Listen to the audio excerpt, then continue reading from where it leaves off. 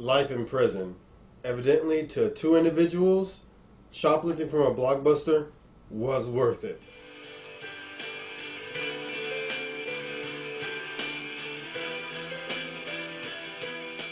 Let me explain to you guys what you're about to see. You're about to see footage taken by a BLACKbuster Critic when he used to work at Blockbuster. See, while at Blockbuster, tons of crazy things happened. Guy came in with a shotgun, waved it around, asking for money out the till.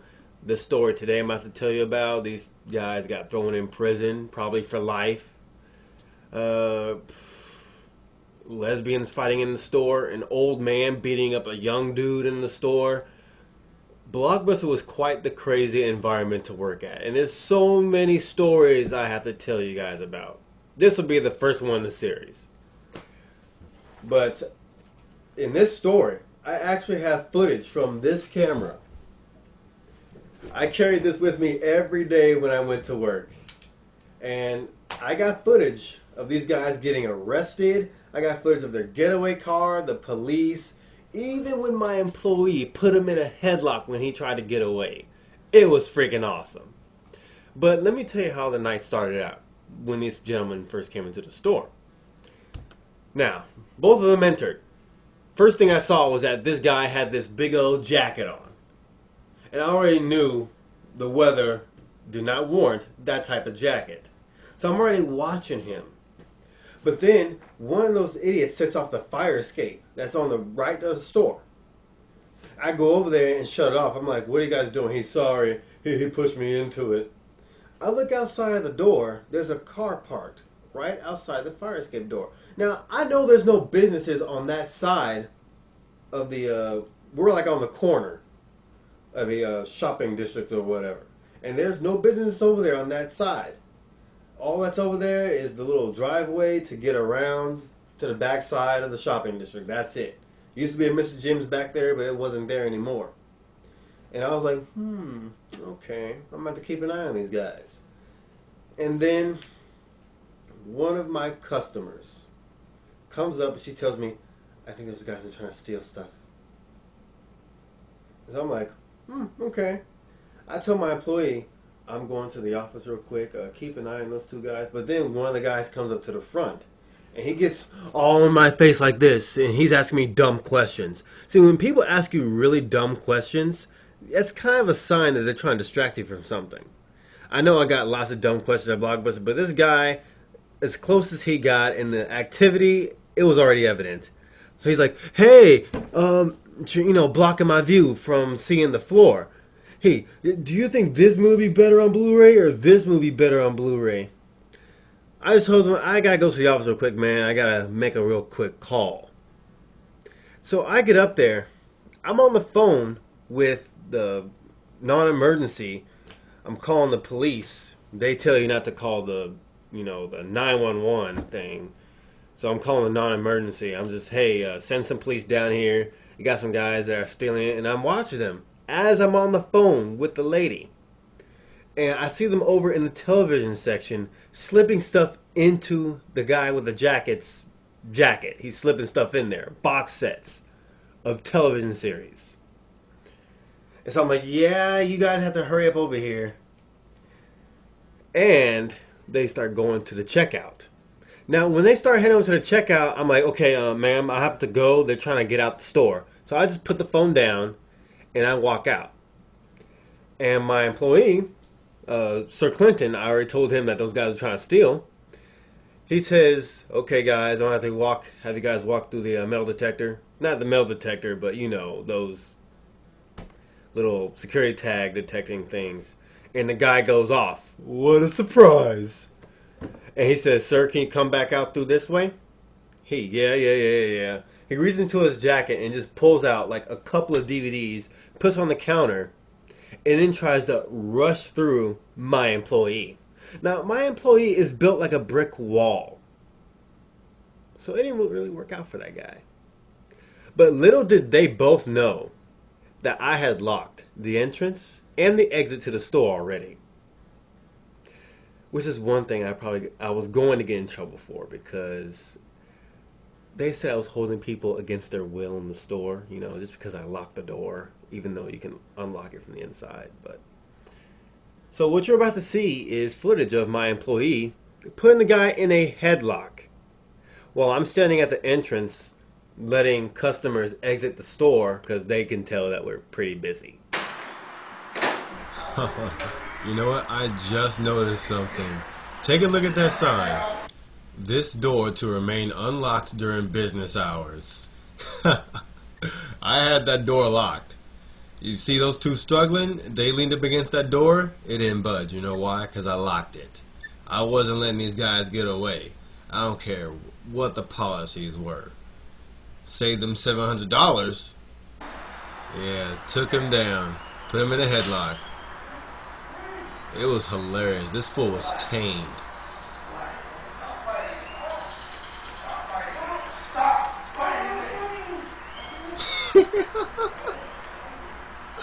uh. I'll be back later. All right. Oh, I can't get up to here, can I? Uh, I can get you out. Thanks. Yeah, uh, I already called, but go ahead and give him a call so they'll know it's urgent.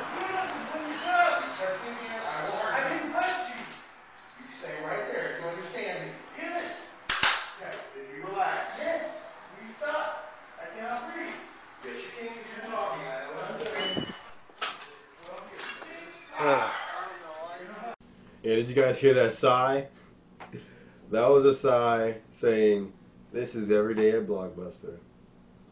But also at that point, I was always thinking about those police reports, filling those things out, lengthy sheets, front and back, all the details you can think of about the incident, having to sign it, and then all the garbage. I hate that part. That's the worst part about calling the police. The police reports. It's like, you know, the essay session of an ACT or an SAT. You gotta write it in, write it all in. It's annoying. It's really annoying. And that was the worst part about getting shoplifted or getting robbed was filling out the police report. But anyway, as you guys can see, my my friend, he had the guy. He wasn't going anywhere. And he has these fools tamed. He has them standing there at the counter thinking about what they did handing over their name, their licenses if they have it, if they had them on them. I don't know which one had what on them, but he was getting their info. Are they on their way, Jamin? Yeah, they're on their way. Bam! Policeman. Yep, there's idiot number one. Look at his shirt. Hi, you'll do.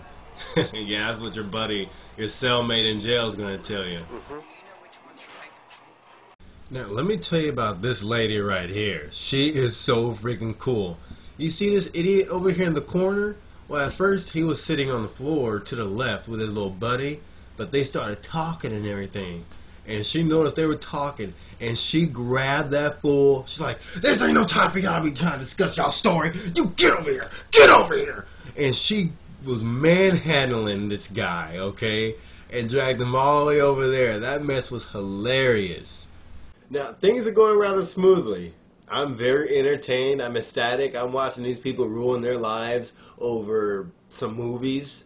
And I told one of the officers, hey, you guys remember that car I showed you earlier, that green car? I told the officer, there is a car parked on the side of the store.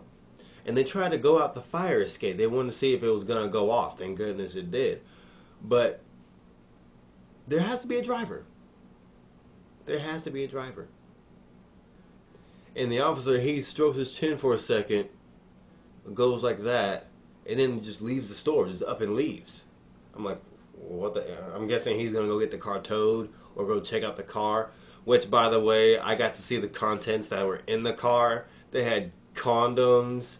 Uh, they had what the police described as tools used to break into a store and all types of other little gadgets. I I don't know. I just remember condoms and tools to break into places, crowbars and stuff like that. And the officer, a couple minutes later, comes back, and he brings this chick inside with him. And I'm like, "What are you doing, man? Why are you bringing customers in the store? We're closed for the moment."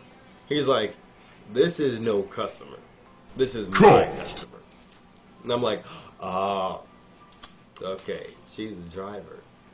Yeah, the officer saw that girl walk across the front of the store. Like, this is the screenshot here of the front of the store.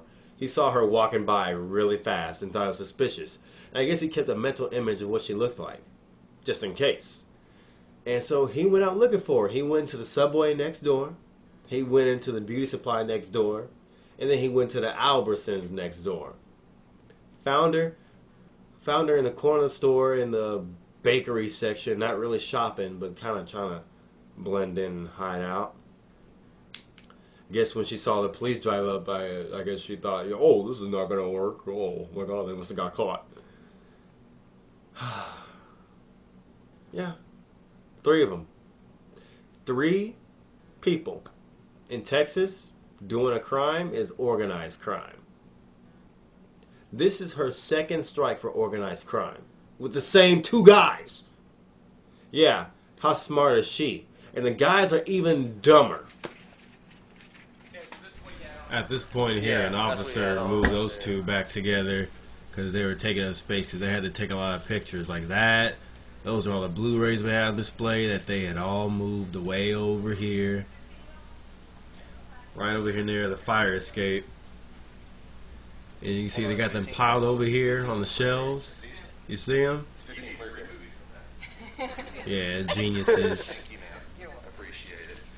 Yeah, we saw those holes over there, and we knew they were freaking stealing. We knew they just couldn't get it out of here, especially not through that fire escape. That's 14. It's one more missing.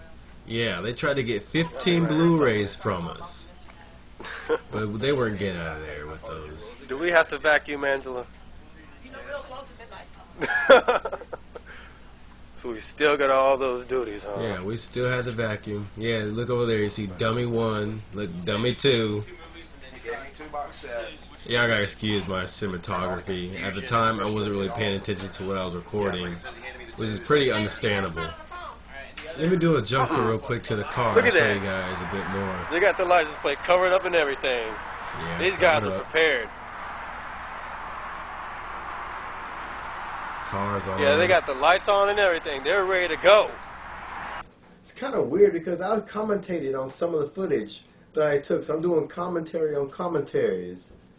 I don't know. Anyway, it was about the end of the night. Things are settling down. But one thing I really wanted to get was the long march to the police car. There was nothing better than watching these three fools march their way to the end of their lives. Yeah, I did those. I want to shoot it.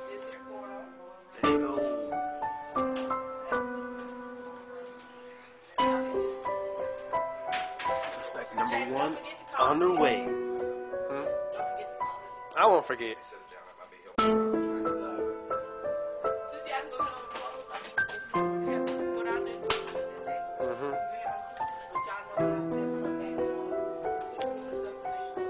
Fantastic. That's all the interesting footage I have from that night. Some of it got deleted because I let the police borrow my camera. You guys saw that I had a lot of interesting footage from that night. And while the police were all there, there was like seven different police officers there.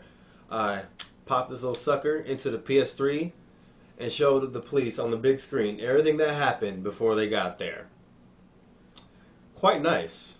They saw that and they're like, "Hey, can we borrow it?" And I'm like, "Uh, sure, yeah. I mean, that's great evidence." They deleted the uh, video when uh, the guy, you know, shoulder ran my employee, and that didn't really work out too well for him. And they deleted some other footage on accident. I mean, all you have to do is just touch that little trash can twice, and you delete a video. So I should have told them, you know, the instructions before they left. But yeah, after work, I had to go to the police station and get this camera. And when the police chief came out, he was like, "Hey, you know, he was one of my customers. He was like, "Hey, man, I know you got a YouTube channel, but I want to ask you something. Do not upload this footage to the internet until we give you the A-OK." I'm like, "Why?" He's like, "Because this This is key evidence to, you know, commit these guys, throw them in jail, prison. So what we want, you know, if you upload this to the internet, their lawyers or their attorneys or whatever could possibly, you know, throw out that evidence with something. I, I don't particularly remember what he said, but he said that they could use the footage, you know, be on the internet as some kind of excuse to throw out the evidence, which is the main evidence of what they did. But he said things will be a-okay to upload if they confess, which they did. You know, three strikes of organized crime, and then one idiot had like a, a assault charge or whatever. These were some crazy kids. They were no older than I am. They were like 20, 21 years old. And the girl was probably uh, 19. I think she was 19 years old. And then the police chief, he came back. Uh, he was one of my customers. He came back in the store one day and he told me the girl hasn't confessed yet. So that gave me a delay. But then she ended up confessing. So everything worked out just fine. Which is why the footage is up on the internet now. Anyway, guys, that's all I got for this edition of My Store, My Story. You know, idiots. Only idiots would shoplift from a blockbuster to that extent. Now, I'm going to give you guys two options. You guys can vote here on what you want. I got something similar to a guidelines to being a customer rant right here. We have a video that's going to be, I don't know if it's going to be a My Story, My Story, but I want to call it a movie from hell serious. I don't know. But it's going to be about movies, particular movies that released that just made people's minds just shatter. Everything, common sense went out the window. People were acting crazy for these movies. There are tons of movies that were like that. The one that I want to specifically talk about in this edition right here, if you guys vote on that, is Happy Feet. The day that movie released, the week that movie released, it was hell.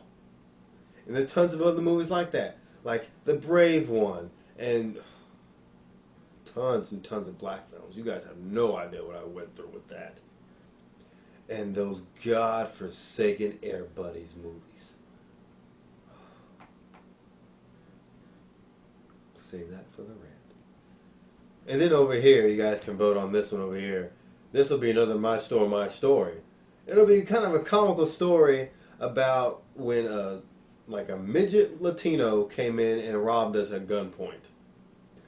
It's a very funny story because I was messing with the guy the entire time he was there, and he had a shotgun, and I was messing with the guy, messing with his mind, playing with him, asking him questions, talking to him.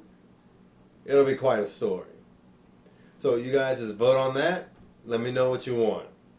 BLACKbuster Critic is here to tell you that you will see a lot more blockbuster related videos coming from me because that place was a facility that didn't just sell movies, but produced a lot of lulls.